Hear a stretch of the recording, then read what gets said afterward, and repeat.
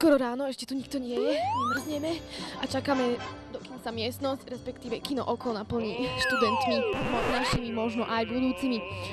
Ako máte možnosť vidieť, je tu plagát, krásna zastávka, nápisy, deň otvorených dverí, 10. marca 2010, neuveriteľných 10 hodín ráno. My sme tu teraz a je neuveriteľných 8 hodín ráno, tak asi by som už aj skončila, lebo idem donútra. Pa.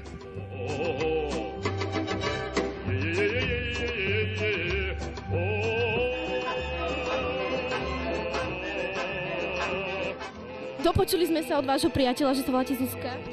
Áno, volám sa. Odkiaľ k nám prichádzate? Z Trnavy. Ale čože, ale čože, Trnavčanka, veď krásna šatka, nádherná. Môžete mi... Ďakujem. Psíka pochod, no jasné. ďakujem, ďakujem. A môžem sa spýtať, že mm, tá šatka, aké značky? Gucci. Gucci. Máme tu Gucciho, veľmi krásna. A čo, a čo hovoríte na túto na štýl dám okolo vás? Oni sú tiež od Gucci, my sme to boli nakupovať spolu. Mm, ve- veľmi dobre, veľmi dobre. A smiem sa ešte takto spýtať, že o, kedy, ako, dokedy tu budete? Dokedy sa bude dať čo najdlhšie. Áno, áno. A myslíte si, že vás to tu bude baviť? Určite áno. Takže... Ah, Máš nádhernú šatku. Ďakujem. A celá si tak veľmi dobre nastajlovaná, ako tak pozeráme. Veľmi pekne. Kto ťa šatil? Ja sama. Ty sama? Uh-huh, uh-huh. A môže nám povedať značku kabáta? O, nemá značku. Nemá značku. Ušitý vlastnoročne? Ani nie je to len tak kúpený v takom obyčajnom obchode. Á, máš krásne vlasy, dlhé vidím. Robil ti nejaký kaderník, paviel napríklad. Mám doma. Hej. Paviela doma. No. Prišiel si na deň otvorených dverí. Prečo?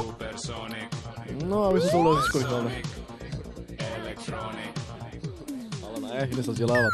No ešte, že prečo sa hlásiš na našu školu? Mať zaujímavé odbory. Ktorý napríklad? Aha, a sme doma. No, trošku áno. Informovať tých odboroch hlavne. Kým si prišiel? Tie spolužiaky. Všetci sa hlásite sem k. No, možno, že aj áno. Uú. Kam nehlásime? Iba, aha, to iba tak ako, že robíte si prieskum. Áno, A ty si teraz na akej strednej škole? energetické. No, elektrotechnická. Už sme premenovaní. Môžeme, pán rektor, môžeme sa niečo pýtať. čo sa chcete spýtať a uh, už to oslovenie je zlé. Zle?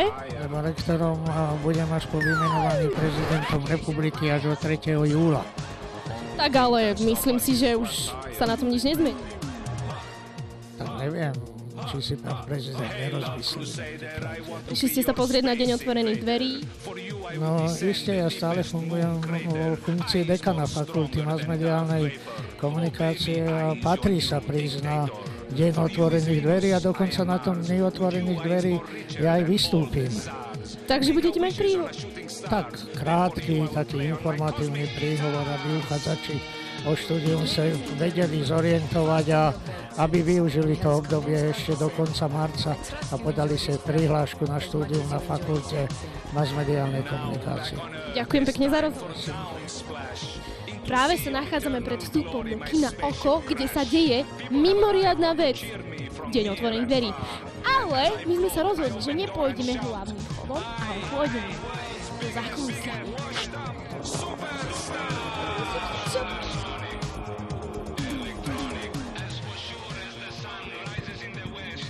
Neviem, či počujete ten hluk, ale sme práve pred zákulisím. A my vôbec nie sme. Ale radšej poďme dovnútra. Long live space race.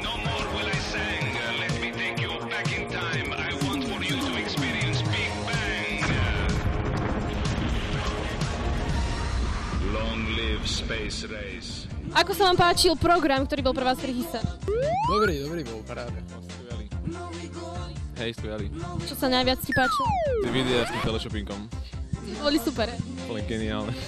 A teda teraz máš pocit, že sa na túto školu budeš hlásiť, ale Možno aj áno. a máš ešte aj niekde inú vybrať? Áno, Kde? tajné. A ty? Ja ešte do Prahy. Do Prahy, na, takúto, na takýto istý odbor alebo iný. Tiež. Takže k nám sa hlasíš na marketing. Áno. No to je asi jediné, čo ma na, mohla aká vysoká baviť. Čo, Lolitka? No, čo, čo my na to povieme? No nič, no. Bav, bav. No to je všetko. A organizácia? Ako ste spokojná s týmto dňom zatiaľ? Myslím, že veľmi. Celú noc som som sa bála, či prídu študenti budúci naši, ale našťastie prišli, takže Som v hojnom počte. som veľmi rada, že bolo nakoniec aj to druhé kolo.